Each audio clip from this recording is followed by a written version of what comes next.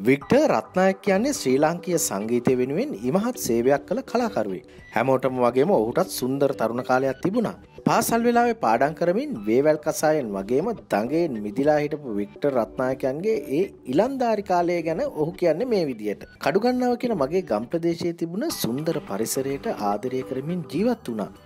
යාළුවෙක් එක්ක එකතු වෙලා අලගල්ල කන්ද බලන කන්ද හුන්නස්ගිරිය උතුවන් කන්ද කියන කඳු නැගලා ඇලේ දොලේ නාලා උපරිම ලෙස සොබා සෞන්දර්ය වින්දා. අවුරුදු නවේ ඉඳලා සංගීතයට යොමු වෙලා ඉන්න අතරේ තාත්තා මට හාමෝනියම් එකක් අරන් දුන්නා. ඒ නිසා මම ඉලන්දාරි කාලේ ගමේ මගුල් ගෙවල් වල සහ විවිධ උත්සව වලට ගායනයෙන් වගේම වාදනයෙන් නැතිවම බැරි චරිතයක් වෙලා හිටියා. කඩුගන්නාව කනිෂ්ඨ විද්‍යාලයෙන් තමයි මූලික අධ්‍යාපනය ලැබුවේ. එතනින් පස්සේ කඩුගන්නාව මධ්‍ය මහාවිද්‍යාලය ඉගෙනුම ලැබුවා. සාමාන්‍ය පෙළ හොඳින්ම සමත් වුණා. සංගීතයට වැඩි ඉඩක් දීලා කටයුතු කළ නිසා උසස් පෙළ ගැන හිතුවෙම නෑ. හෝඩිය පන්තිය ඉඳලා ළඟින්ම හිටපු යාලුව තමයි කේච් කුලරත්න. අදත් මාව බලන්න මගේ ගෙදරට එනවා. මමත් යනවා හුව බලන්න. අපේ යාලුකම ඒ විදිහමයි. ඊට අමතරව සිරිල් සුමනදාස ජීප අතපත්තු එල්බ අතපත්තු ඇතුළු මිතුරන් රාජ්‍යම් මට හිටිය. අද වෙදි සිරිල් සුමනදාස අපතර නැහැ. ගෙවල් වටපිටාවේ තිබුණු සුන්දර පරිසරය රසවිඳන්න පුළුවන් හැම තැනකම අපි කල්ලි ගැහුණ. කඩුගන්නාවර ඒල් පාරදිගේ පල්ලෙහට ඇවිදින්න යනවා. බිංගෙවල් නරබන්න. වතුර පිහිලිවල නාන්න අපි හරි කැමති.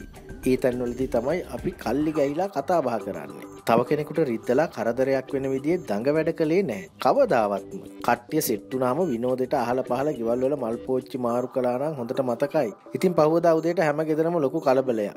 ඒවා නැවත මාරු කරගන්න. ඒවා බලලා හරියට විනෝදුන්නා. කරපු හොඳ වැඩ අනන්තයි. අප්‍රමාණයි. ගමේ ඕනම පොදු කටයුත්තකදී අපි තමයි මූලික වෙන්නේ. විශේෂයෙන් කඩුගන්නාවේ අපේ පන්සලේ ඕනම උත්සවයක කොඩි දාන්න, සැරසිලි, තොරන් හැදිලි අපේ අතින්මයි සිදු වුණේ. වෙසක් පොසොන් උත්සවවලට පන්සල ඇතුළු මුළු ගමම අපි වෙසක් කූඩු වලින් සරසනවා. පන්තිය නාමලේඛනය උදේට ලකුණු කරන්නේ ඩීවී රත්නායක කියලා. මගේ සම්පූර්ණ නම ඩීවී රත්නායක නිසා යාළුවෝ ඒ නම කෙටි කරලා මට කතා කළේ ඩීවී කියලා. සංගීත ශේත්‍රයේදී තමයි වික්ටර් රත්නායක වුණේ.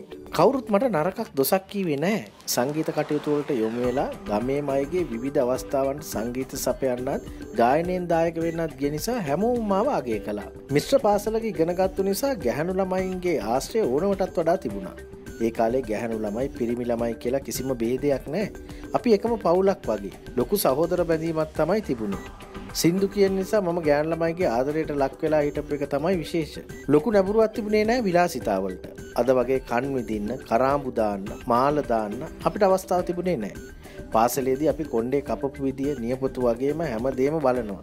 ඒ විදිහට හිටියා. අම්මා තාත්තා අරන් දෙන ඇඳුම් ඇඳලා. එච්චරයි. මම සංගීතය පැත්තෙන් ගොඩාක් ඉදිරියට ගමන් කරමින් හිටපු නිසා සංගීත ගුරුවරයෙකු හැටියට පත්වීමල් ලබා ගන්න ඕන කියලා බලාපොරොත්තුවක් මගේ හිතේ තිබුණා. ඒ වගේ එදදා නමසය හැට හය අවුරුද්දේ මට සංගීත ගුරුවරයෙකු විදිහට පත්වීමක් ලැබුණා. ඒත් එක්කම එදදා නමසය ඇත්ත තුන වසරේදී මම සෞන්දර්ය විශ්වවිද්‍යාලයටත් ඇතුළත් වුණා. පුංචි ළමයින්ට වැළඳෙන වලිප්පුව කියන රෝගී තත්ත්වය නිසා මගේ මල්ලි කෙනෙක් පුංචි කාලෙම ජීවිතයෙන් සමුගත්තා. ඒ සිදුවීම නිසා තමයි මම වැඩිපුරම දුක්කුණේ. මම කවදාවත් සිහින දැකපු සහ දකින කෙනෙක් නෙමෙයි. එන එන විදිහට ජීවිතයට මුහුණ දෙමින් ඒ ඒ අවස්ථාවට උචිත විදිහට ක්‍රියා කරනවා. ඉලන්දාරි කාලයත් එක්ක බැඳුණු අමතක නොවන සිදුවීම් නම් මහා ගොඩක් තියෙනවා. ඒ අතරින් මතක් වෙනකොටත් ඇගේ හිරිගඩු පිපෙන සිදුවීමත් තමයි ගෙවල් වලට නොකියා යාළුවොත් එක්ක මහවැලිගඟේ නාන්න ගිහින් මාව ගිලෙන්න ගිය සිදුවීම. මගේ පෙර පිනකට යාළුවෙක් ලණුවක් වීසි කළා. ඒකේ එල්ලිලා යාන්තම් පණ බේරගත්තා. ඒ සිදුවීම නම් ජීවිතේ තියෙනකම් මට කවදාවත්ම අමතක වෙන්නේ නැති වෙයි. අමතක කරන්නත් බෑ.